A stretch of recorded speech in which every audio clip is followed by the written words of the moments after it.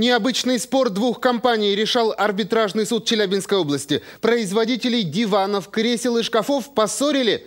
Ножки для мебели. В МИАСе заявили, что придумали их оригинальный дизайн, а другие компании разработку просто украли. Подробности в репортаже. Вот ножки. То есть это вот кажется, что ну вроде ну что тут особенного, а это уже оригинальный дизайн. Вот они, те самые мебельные опоры, которые стали предметом громкого спора между двумя компаниями. По заверению мебельщиков из мяса, эти крепления и их разработка. Но каково же было удивление руководства, когда аналоги появились у других производителей? Ну вы возьмите и измените какой-то элемент э, в этом мебельной опоре и выпускайте свое, так сказать.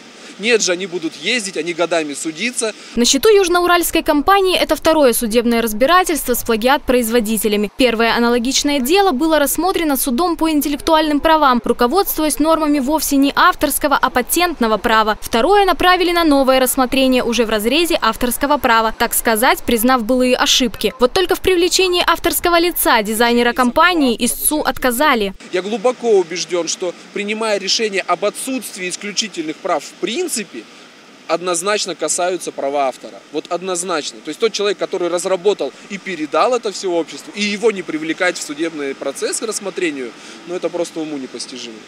Ответчик, представитель смоленской компании, в свою очередь заверил суд, что они вдохновились вовсе не миасской фурнитурой, а разработками польской фирмы. Но южноуральские производители все же намерены отстоять свое право на собственность и далее планируют подать апелляционную жалобу. Причем миасская компания материальной компенсации с ответчиков не требует, просят лишь отказаться от производства их копий. Алена Маркунина, Рамиль Газеев, 31 канал.